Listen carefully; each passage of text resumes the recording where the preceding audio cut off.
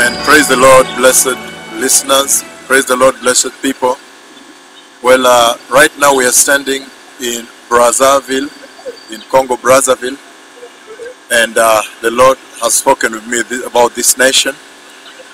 And I've already passed the message of the Lord to the leadership of this country, the highest leadership of the country, that in this land, when the Lord brought me here and in the hotel room, I saw a lot of worms and maggots were eating my body, and a lot of them were dropping all over, all over the field, all over the everywhere in the houses.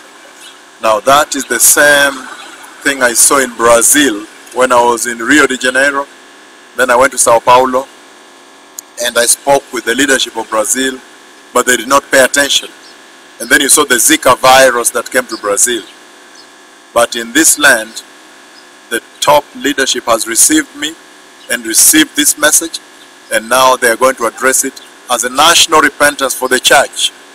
The church must now repent and mobilize a national repentance for all the people of this land that they may turn away from sin. The Lord is asking the church, the pastors, to stop the money, gospel of money, money, money all the time because this nation is looking for the Lord. The top leadership has accepted to pursue the agenda of the Lord for this very blessed nation.